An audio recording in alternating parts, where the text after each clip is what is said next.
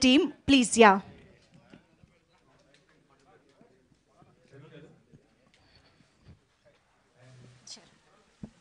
hi hi thank you so much అండి లేదు ఇంకా లాంచ్ యాక్చువల్లీ సర్ప్రైజ్గా పెట్టామండి. మేబీ ఇది ప్రీ లాంచ్ ప్రెస్ రిలీజ్ అయిన తర్వాత ఆయన చూడొచ్చు. సో అది ప్లాన్ చేసాం అంటే ఇప్పుడు మీ సినిమా చేస్తున్నప్పుడు ఎప్పుడైనా కలవటం కానీ ఎట్లా ఏమైనా జరిగిందా? ఆయనకి నేను ఫ్యామిలీ మెంబర్గా తెలుసు కానీ ఒక హీరోగా పరిచయం అవుతున్నారని అందరికీ ఒక సర్ప్రైజ్ ఇద్దామని ఆయన ఇంకా చెప్పలేదండి. సో అది అండి. సో మిస్టర్ కింగ్ అంటే ఏంటి ఈ టైటిల్ పెట్టడానికి కారణం ఏంటి? అంటే మీకు మీరే కింగ్ అని ఎట్లా అనిపించింది? లేదు అలా ఏం కాదు. సో నేను ముందు చెప్పినట్టు ఒక గుడ్ కాడ్ గుడ్ కాజ్ కోసం ఒక పర్సన్ ఫైట్ చేస్తే అతన్ని హీరో అంటారు. బట్ అతని చుట్టుపక్కల ఉండే వాళ్ళు అతని కోసం ఫైట్ చేస్తే రాజ్ అంటారని ఒక మెయిన్ ఒక గోల్ ఓరియంటెడ్ క్యారెక్టర్ అండి. అండ్ శశి గారు నా దగ్గర వచ్చి స్టోరీ చెప్పినప్పుడు ఒక కంప్లీట్ స్ట్రాంగ్ క్యారెక్టర్ ఉంటుంది. అతనికి బిగ్గర్ డ్రీమ్స్ ఉంటాయి బట్ లైఫ్లో స్ట్రగుల్స్ వల్ల అతను ఒక ఆర్జే జాబ్ చేస్తూ ఉంటాడు. సో అప్పుడు అది ఒక ఆస్పెక్టే గోలు లవ్ అండ్ స్ట్రగుల్స్ ఉండే ఆస్పెక్ట్ చాలా వస్తాయి. సో ఇది కంప్లీట్ ఒక డ్రామా యూత్ఫుల్ ఫ్యామిలీ ఎంటర్టైనర్ అండి. అంటే హీరో కావాలని మీకు చిన్నప్పటి నుంచి ఉందా? అవునండి. సో అంటే దీనిపైన ఏం తీసుకున్నారు? ట్రైనింగ్ నేను యాక్చువల్లీ ఫస్ట్ స్కూల్లో థియేటర్ ప్లే స్టార్ట్ చేశానండి. దాని తర్వాత నేను షార్ట్ ఫిల్మ్స్ చేశాను. ఆ షార్ట్ ఫిల్మ్స్ చేసినప్పుడు ఒక షార్ట్ ఫిల్మ్లో మా డైరెక్టర్ చూశారు. సో దాని తర్వాత వచ్చి అప్రోచ్ అయ్యారు. అండ్ దాని తర్వాత ఆయనకు తెలిసింది నేను ఈ ఫ్యామిలీ నుంచి. ఇంకా అది ఒక ప్లస్ పాయింట్ అయింది.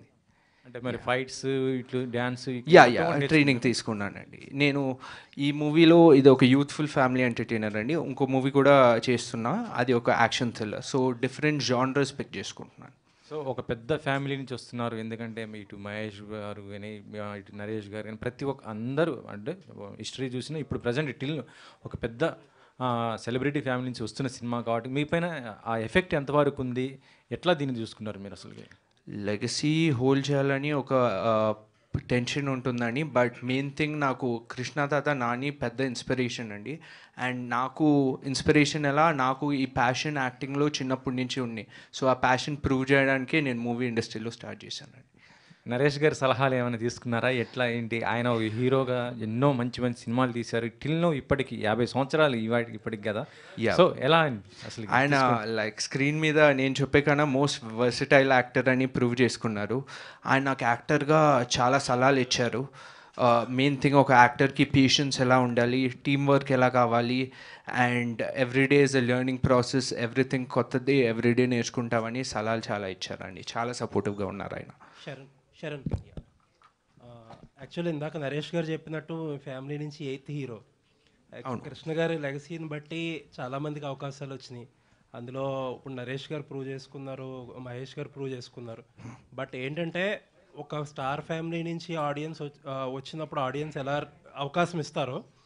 బట్ ఏదన్నా కొద్దిగా అటు ఇటుగా ఉన్నా సరే రిజెక్షన్ కూడా అంతే మిర్చి డెఫినెట్గా ఉంటుందండి. సో ఎలాంటి కేర్ తీసుకుని సినిమా చేశారు?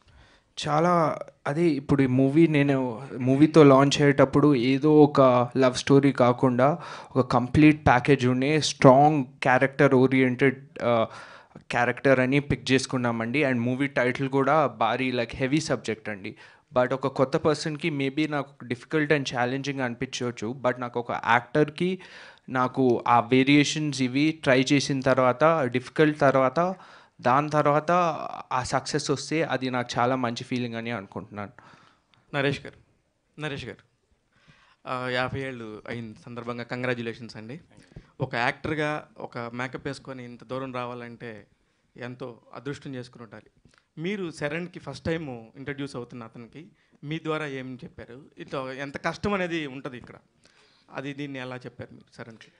నేను హీరోగా పదిహేడు ఏట అయ్యాను. చైల్డ్ ఆర్టిస్ట్గా ఎడ్వైట్ అయ్యాను. మా అమ్మ నేను జమిల గారు నేను షూటింగ్ వెళ్తున్నా ఒకటే చెప్పారు. నువ్వు కొత్తగా వెళుతున్నావు నీకు ఎవరు విష్ చేయరు. లైట్ బాయ్స్ దగ్గర నుంచి అందరికీ విష్ చేయి. ఆటోమేటిక్గా నీకు విష్ చేస్తారని నాకు చెప్పిన ఫస్ట్ సలహా అది. ఇప్పటికి కూడా వెళ్ళంగానే ముందు లైట్ బాయ్స్ ప్రొడక్షన్ బాయ్స్కి విష్ చేస్తాను. ఎందుకంటే అందరు కలిస్తేనే సినిమా. ప్రతి లైట్ వెలిగించేవాడి దగ్గర నుంచి టీ ఇచ్చేవాడి దగ్గర నుంచి. సో నేనేమంటానంటే యూనిట్ అనేది ఒక ఫ్యామిలీ లాంటిది. ఒక అరవై తొంభై రోజులు కలిసి గడుపుతాం. సో ఆ ఫస్ట్ ఇంప్రెషన్ అనేది యూనిట్ నుంచే స్టార్ట్ అవుతుంది. అదే చెప్పింది నేను శరణ్ కూడా. సో యూనిట్లో అందరినీ సమానంగా ట్రీట్ చేయాలి. హీరో అనేది ఒక బిరుదు మాత్రం. It's a character. రియల్ లైఫ్లో we're all part of that unit and we work for a product ఆ ప్రొడ్యూసర్ డబ్బు పెడతాడు డైరెక్టర్ రాస్తారు తీస్తారు.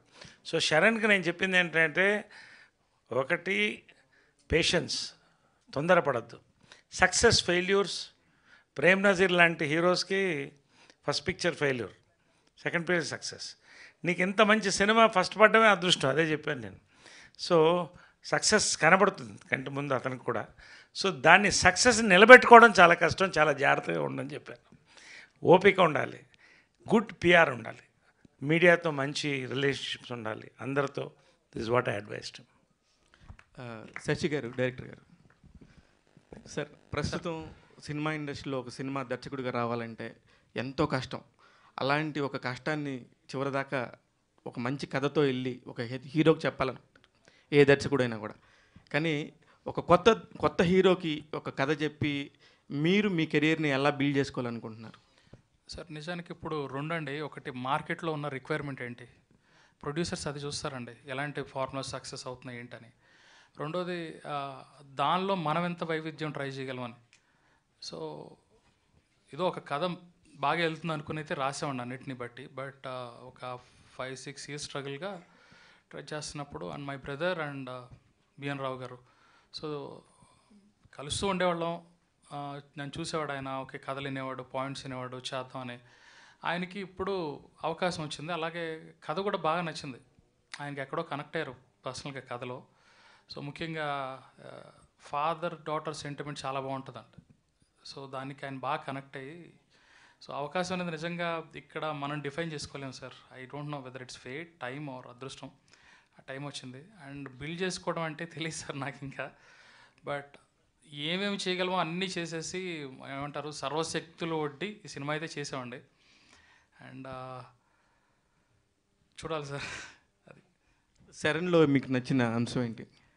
శరణ్ నేను ఫస్ట్ కొత్త హీరోకి వెళ్దాం అనుకున్నప్పుడు ఒక ఇన్నోసెన్స్ ఉంటుందండి. ఫేస్లో చిన్న రాగనా?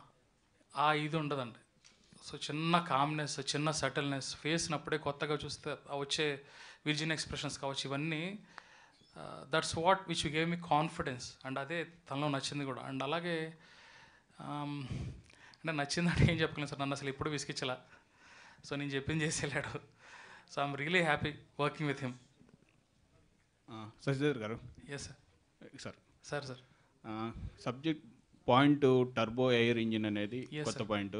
ఇది సైన్స్ ఫిక్షనా లేదు అంటే న్యాచురల్గా సార్ ఇది ఇది? యాక్చువల్గా ఏంటంటే ఫ్రెంచ్ సైంటిస్టులు ఆల్రెడీ కనిపెట్టారు సార్ అది. ఇప్పుడు హీరోకి ఒక బ్యాక్ డ్రాప్ ఇవ్వాలి. అది కొంచెం కొత్తగా ఉండాలి. ఏరోనాటికల్లో చాలా సబ్జెక్ట్స్ వచ్చాయి. ఇప్పుడు రైటర్స్గా నేను ఒక సిక్స్ ఎయిట్ ఇయర్స్ నుంచి చేస్తున్నాను. మధ్యను సినిమా నుంచి కొంచెం రైటింగ్ డిపార్ట్మెంట్లో ఉన్నాను. ఆ డిస్కషన్స్కి డిస్కషన్స్కి వెళ్తాం. ఆర్ అండ్ చేస్తూ ఉంటాం కదండి. ఒక చిన్న బ్యాక్ డ్రాప్ కొత్తదేమో అలదో అని. సో చేస్తున్నప్పుడు ఒకసారి ఏదో సమ్ లెజెండరీ క్యారెక్టర్ గురించి అని ఆలోచించినప్పుడు ఒక ప్లేన్ చూశాను. ప్లేన్ కింద ఇటు ట్వంటీ టర్బైన్స్ అటు ట్వంటీ టర్బైన్స్ ఉన్నాయి. దట్ హుక్ మీ అరే ఇలాంటిది ఏదో స్క్రీన్ మీద చూపిస్తే చాలా కొత్తగా ఉంటుంది. ఇలాంటి ప్లేన్ ఎప్పుడు చూడలేదు. అని దాన్ని ఆర్ఎండి చేసుకుంటా వెళ్ళి వెళ్ళినప్పుడు అలాంటిది based on that we just posted in the film అండి. ఊరికే ఏదేదో చూసి బాగుంది కదా అని పెట్టేయడం కదండి. యాక్చువల్గా దాని వెనకాల ఒక పెద్ద అంటే ఏరోప్లేన్ వల్ల చాలా పొల్యూషన్ అవుతుందండి. ఎయిర్ పొల్యూషన్ కార్బన్ ప్రింట్స్ వల్ల. సో ఈ ప్లేన్ ఏంటంటే ఆ కార్బన్ ప్రింట్స్ని చాలా వరకు తగ్గిస్తుంది. ఫ్యూల్ యూసేజ్ కూడా బాగా తగ్గుతుంది అనమాట so there is purpose behind this so దాన్ని కూడా దృష్టిలో పెట్టుకుని సార్ వండర్ఫుల్ అంటే మీరు చెప్పిన కోర్ పాయింటే ఆడియన్స్ని అట్రాక్ట్ చేస్తుందా? లేదంటే లవ్ లవ్ స్టోరీ కావచ్చు మిగతా కంటెంట్ ఎంతవరకు ఎంగేజ్ చేస్తుంది? అంటే ఈ మధ్యలో కంటెంట్ చాలా కంటెంట్ ఉన్న సినిమాలను ఆడియన్స్ ఎంకరేజ్ చేస్తున్నారు. సో కంటెంట్ బేస్డ్లోనే ఇది ముందుకెళ్తుందా? లేదంటే ఎంటర్టైన్ వేలో కూడా ఎంత ఎంగేజ్ చేయబోతుంది? ఒక క్యారెక్టర్ ఉండేవాడు ఎలా ఉంటాడు అనే చిన్న బ్యాక్ డ్రాప్ కోసమే ప్లేన్ తీసుకున్నాం సార్. ఇదొక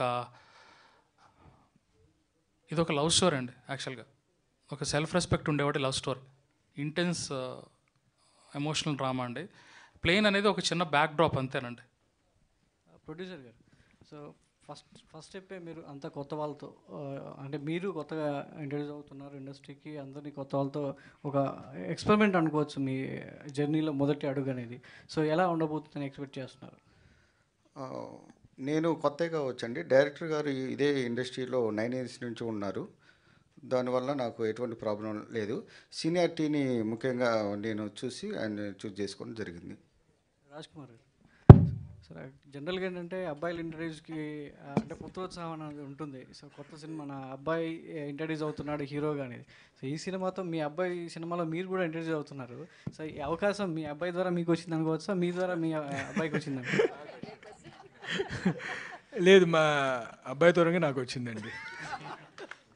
ఎందుకంటే నేను వచ్చి ఉండాలి ఎప్పుడో వచ్చి ఉండేవాడిని. సో ఎవ్రీథింగ్ ఇస్ టైం అండి.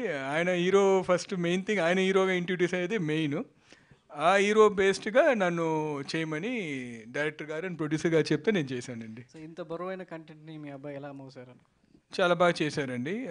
ఎంత కావాలో యాక్చువల్గా డైరెక్టర్ గారు ఆయన వచ్చి యాక్టింగ్ అంటేను రియాక్ట్ చేయమన్నారు సెట్స్లో so according to the situational based ఆయన సెట్లు రియాక్ట్ చేశారు యాక్టింగ్ అంటేను సో న్యాచురాలిటీ ఉందండి ఆ సీన్స్లో సో ఈ క్యారీడ్ హిమ్సెల్ఫ్ వెరీ వెల్ అండి ప్రొడ్యూసర్ అంటే ఈ సినిమా రిలీజ్ ప్లాన్ ఎలా చేస్తున్నారు సో ఎలా ఎలా ఉంటుంది ఓన్ రిలీజ్ వెళ్తున్నామండి టూ ఫిఫ్టీ థియేటర్స్లో ఓన్ రిలీజ్ చేస్తున్నాం twenty fourth Done? Yeah. Hi, Ashvika. Yeah. Uh, you look so homely on the screen. So, what is your character exactly in Uh, my character name is Uma Devi andi. Uh, చాలా traditional orthodox conservative family kind of a girl yeah Uh, sir, B N Rao గారు. Sir ఎవరు? శరణ్ గారితో చేయడానికి main reason ఏంటి? అసలు శరణ్ గారిని ఎలా find out చేశారు అసలు? శరణ్ గారిని ఫైండ్ అవుట్ చేయడానికి ఫస్ట్ డైరెక్టర్ గారు చేశారు. దాని తర్వాత నాకు మహేష్ బాబు గారు కృష్ణ గారి అభిమానంతో నేను ఆ ప్రాజెక్ట్ని ఇమీడియట్లీ ఓకే చేయడం జరిగింది. ఆ, మనం అనుకున్న బడ్జెట్ కూడా పెంచడానికి కారణం కూడా ఉన్న మన హీరో గారి మీద ఉన్న నమ్మకంతోనే పెంచడం పెంచారండి. సార్ నరేష్ సార్ మీరేంటి సార్? బాగా స్లిమ్ అయిపోతున్నారు ఇంకా మళ్ళీ మళ్ళీ హీరోగా ఇదవుతున్నారు. మూడు సినిమాలు హీరోగా చేస్తున్నాను fifty eighth year. So secret ఎప్పుడు సార్ మరి? ఎప్పుడు announcement? I mean this divert from this I don't I will soon I will give you good news